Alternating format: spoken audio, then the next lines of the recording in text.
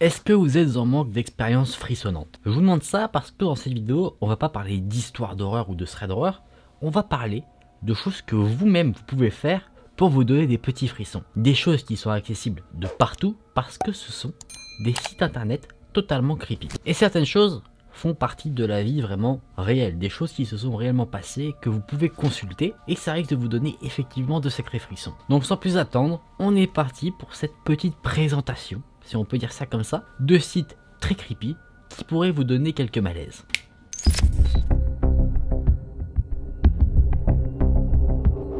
Le premier site que je vais vous présenter, c'est un site qui pourrait vous donner des sueurs froides. C'est le site Plane Crash Info. C'est un site qui va vous proposer en fait soit du texte, soit des vidéos, mais concernant des événements assez particuliers. Clairement, il vous propose de consulter les derniers moments d'un crash d'avion.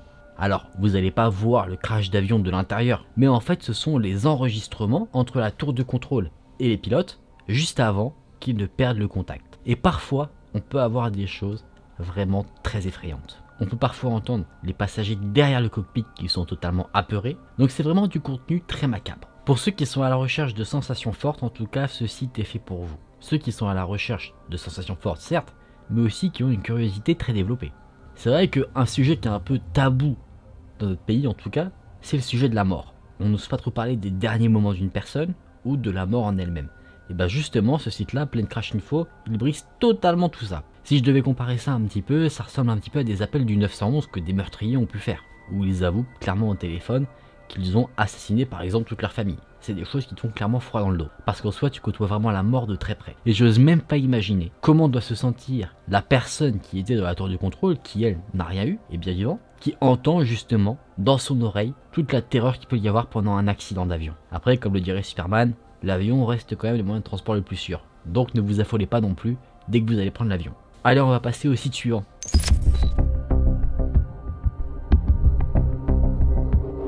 Les amis, sur ce site-là, moi je trouve ça un peu amusant, mais d'un autre côté ça me fait peur. C'est le site Death Date. Vous savez, on a tous une date de naissance, et on va tous avoir une date de décès. Et eh bien ce site-là vous prédit, alors, vous prédit votre date de décès. On va vous demander plusieurs informations, nom, prénom, taille, poids, date de naissance. Également votre genre et si vous consommez de l'alcool, des cigarettes ou de la drogue. Et à partir de tous ces éléments, il va vous prédire la date de votre mort, mais également les circonstances. Par curiosité, j'ai fait le test. Alors, je ne fume pas, je ne suis pas un grand consommateur d'alcool et je ne consomme pas de drogue. Donc, on pourrait se dire que je pourrais vivre jusqu'à très longtemps. Eh bien, je peux vous dire que j'étais un peu surpris. Parce que ce qui te met la pression avec ce site, c'est qu'il te donne pas simplement une date, il te dit combien de temps il te reste à vivre, de quoi te faire suer des fesses. Donc moi, personnellement, je suis censé mourir, selon ce site, le 7 décembre 2055.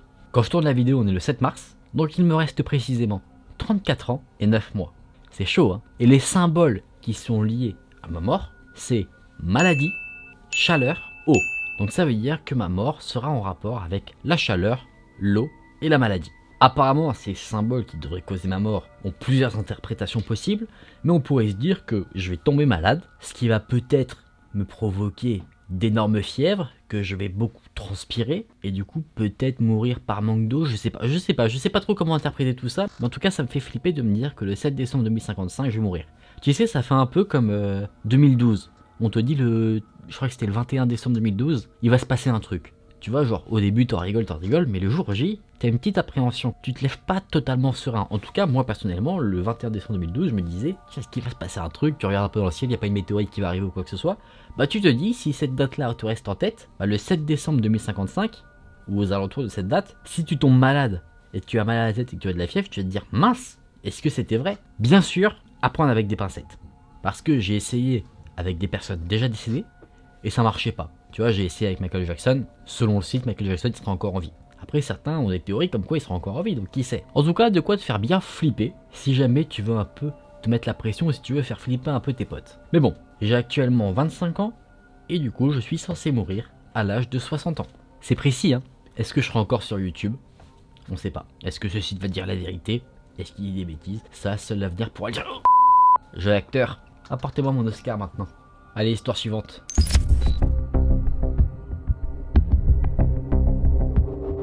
Les amis, maintenant le site dont je vous parler, c'est pas qu'il est creepy en soi, c'est le fait que des personnes interagissent dessus qui est creepy. C'est un site qui s'appelle Rate My Poo. Concrètement, note mon caca. Des gens postent des photos de leurs excréments et les gens les notent. C'est tout. Site suivant.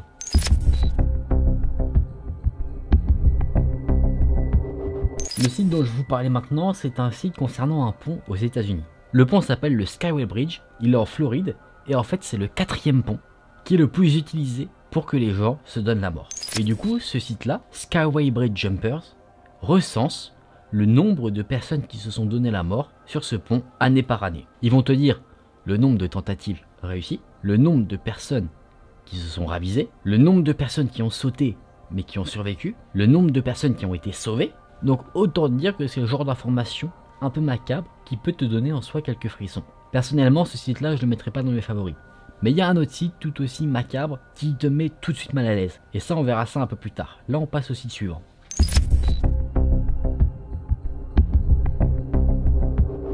Là, je vais vous parler d'un site web qui est tout aussi perturbant qu'intéressant. C'est un site qui s'appelle Simulation Argument. Concrètement, qu'est-ce que c'est? Comment vous expliquer ça? Déjà, ça concerne un peu des théories du complot, ce genre de choses. C'est un site où des gens partagent des recherches, parfois assez poussées, des arguments, d'où The Simulation Argument, qui attestent qu'on vit dans une simulation. Mais cette théorie en soi, c'est quoi? En gros, des personnes pensent que la réalité qu'on voit de nos propres yeux est une simulation qui a été créée. Comme on peut avoir des simulations de vol sur ordinateur, des simulations de conduite, vous voyez Mais sauf que là, on serait dans une simulation de la vie. Et le truc, c'est que nous, les êtres vivants dans ces simulations, on ne s'en rend pas compte. On ne distingue pas que c'est une simulation. C'est une théorie qui peut paraître folle, mais qui est aussi très complexe. Ceux qui sont contre cette théorie vont dire que personne, en tout cas nous en tant qu'être humain, on ne pourra pas créer une technologie assez avancée pour créer ce genre de simulation. Et quand bien même on y arriverait, on ne se servirait pas de cette technologie pour créer une simulation, on s'en servirait pour faire d'autres choses. Et la probabilité qu'on soit dans une simulation est de 1. Donc c'est très bas. En fait, cette théorie-là est assez proche de la philosophie, vous savez, où on se pose des questions de qui on est, qu'est-ce qu'on doit faire dans la vie, où on doit aller, à quoi on est destiné. En fait, ça se rapproche de, ce truc-là. Vous voyez mon niveau en philosophie comme ça. Et du coup, si on revient sur ce site, The Argument Simulation, on a des gens qui montrent tous leurs arguments, qui prouvent selon eux qu'on est dans une simulation. C'est assez fou.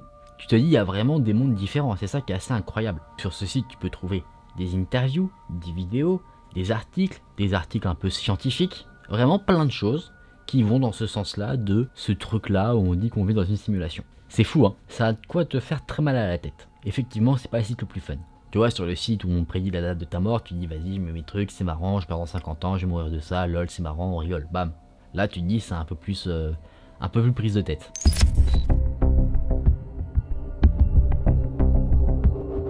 Là, on va voir un site qui ressemble un petit peu au truc du Skyway Bridge aux États-Unis. C'est un site qui te montre en temps réel toutes les naissances et toutes les morts. Ok? Et c'est très malaisant de te poser devant, de regarder ça calmement, et tu vois un mort, un mort, un mort, une naissance, un mort, un mort, comme ça partout dans le monde. Tu te prends un peu la mort dans la tronche. Le site suivant, il côtoie aussi la mort de très près.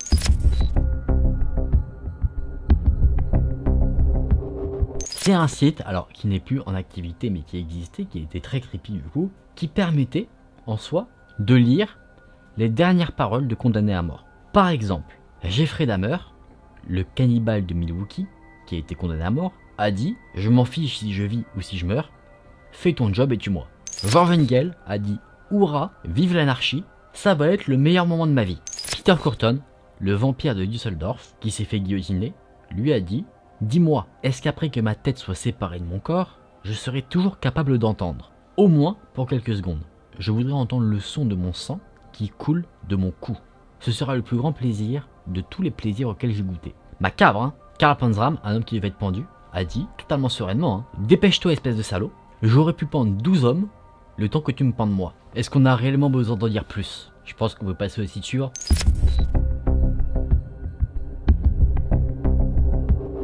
Alors là, on part sur un truc aussi un peu perché. Ça ressemble un petit peu au truc de euh, la théorie de la simulation. Mais là, ça s'appelle le paradis des anges. C'est un site qui nous dit que la Terre va être détruite par une catastrophe et seules les personnes qui ont ouvert leur chakra pourront en gros passer dans une autre dimension et survivre à cette catastrophe. Et sur ce site, c'est que des trucs fous et incompréhensibles. Je vous laisse changer par vous-même, on a un truc tout jaune. Moi je comprends rien du tout, mais en tout cas ça fait assez bizarre de voir des trucs aussi perchés. Si ça vous intéresse, vous pouvez toujours aller voir, hein, parce qu'il y a des petites images où on t'explique un peu comment la planète va être détruite, quel est le plan d'évacuation de la planète avec ce système là de passer dans une autre dimension.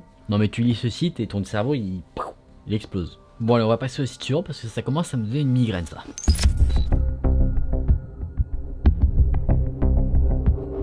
Alors ce site là c'est un site un peu informatif ça s'appelle Housecreep. Et en fait, sur ce site, tu peux tout simplement voir dans quelle maison il y a eu des meurtres. Ou est-ce qu'il y aurait des maisons hantées, des appartements macabres, ce genre de choses. Comme ça, tu marques ton adresse là-bas. C'est aux États-Unis, hein, bien sûr. Et tu peux savoir un peu ce qui s'est passé. S'il s'est passé quelque chose. Ça doit être très rassurant en soi. T'es aux States, tu utilises ce site et tu vois qu'il y a eu un massacre chez toi. Comment encore mieux dormir chez toi après avoir vu ça? Tu vois, des fois, il y a certaines informations, il vaut mieux pas les savoir. Bon, les amis, on en a fini pour ces, euh, pour ces sites. Alors, il y en a qui sont plus fun que d'autres. Hein. Après, tu vois, il y a des sites qui se prennent vraiment en soi au sérieux. Après, on ne juge pas ceux qui croient, ceux qui ne croient pas. Chacun peut croire ce qu'il veut dans sa vie. Tu vois, moi, quand je me suis renseigné un peu pour faire cette vidéo, bah, il y avait des sites, je ne savais pas du tout qu'ils existaient. Tu vois, cette théorie de la simulation, j'en avais vaguement entendu parler. Ce plan d'évacuation de la planète, parce qu'il va y avoir une catastrophe, ça, j'en avais jamais entendu parler, mais tu vois, tu tombes sur des trucs en soi intéressants. Après, il y a pas mal de sites creepy qui ont été fermés, qui voilà, le nom de domaine n'est plus, euh, disponible, du coup on ne peut plus forcément s'y rendre, comme par exemple le fameux site où euh, tu pouvais lire les derniers mots des, euh, des condamnés. Ça, tu peux plus y aller par exemple. Alors en tout cas, moi j'ai pas réussi à y aller. Mais bon, pas forcément besoin d'aller forcément sur le dark web pour voir des trucs un peu dérangeants. En tout cas, je vous laisse aller sur ces sites-là si jamais vous voulez vous faire kiffer, jeter un petit coup d'œil. Vous les trouverez facilement en notant les noms que je vous ai indiqués. Et puis comme ça vous pourrez kiffer. Nous en tout cas on va se remettre en sécurité, on va quitter ce internet un peu malaisant, un peu macabre pour débriefer un peu de tout ça. Alors est-ce que vous allez aller sur ces sites? Moi personnellement je me dis tu passes 5 minutes dessus et puis après c'est bon. Le seul truc le plus fun, après je suis peut-être un peu creepy du coup par rapport à ça, je trouve vraiment que c'est le truc où on t'annonce une date de ta mort. Parce que tu peux te projeter un peu et te dire bah tiens attends, de quoi je vais mourir, tu vois, d'un côté, la mort c'est tellement tabou chez nous qu'on a quand même des questions comme ça, on n'a pas la réponse. Après, bien sûr, c'est pas la réponse officielle, ça te dit pas vraiment comment tu vas mourir. Mais bon, j'aime bien, c'est comme quand, tu fais un petit test de personnalité, on te dit t'es euh, comme Sangoku, c'est le genre de questions, tu vois, tu vois ça, tu te poses la question, après ça change pas ta vie quoi. En tout cas, vous me direz en commentaire si vous pensez aller faire un tour sur ces sites. Moi, c'était un plaisir de vous les présenter. Après, il y a plein de sites qui sont beaucoup plus intéressants. Bon, là, j'ai un peu regroupé des sites un peu farfelus. Mais tu vois, où tu as par exemple une sorte de visite d'une maison montée un peu à la Google Maps. Il y a un site très connu qui s'appelle Texas Lollipop où ça te propose une aventure un peu horrifique où on prend ton visage à partir de ta webcam. Tu vois, il y a plein de sites après qui proposent des choses aussi très intéressante sur le thème de l'horreur. Les amis, j'espère que cette vidéo vous a intéressé, qu'elle vous a plu. Ça change un peu des histoires d'horreur, c'est sûr, mais je trouve ça quand même assez intéressant et, euh, divertissant, mine de rien, parce que tu apprends des choses. Et des fois, tu tombes sur des trucs, comme le site où tu dois noter des caca, où tu te dis, euh, l'être humain est fascinant, mais tu vois, du côté fou, tu te dis, comment c'est possible qu'il y en aussi fous? En tout cas les amis, si ça vous a plu, n'hésitez pas à liker la vidéo, n'hésitez pas à vous abonner à la chaîne si ce n'est pas déjà fait. N'hésitez pas à me suivre sur les réseaux sociaux, notamment sur Instagram parce que je vais avoir besoin de vous pour créer des vidéos aussi. Donc euh, n'hésitez pas à me suivre sur cette plateforme-là pour être au courant et participer à ce que je voudrais mettre en place. Il ne me reste plus qu'à vous souhaiter une bonne journée, une bonne soirée. Merci d'avoir regardé la vidéo, c'était Ken, je vous fais des bisous, prenez soin de vous. Salut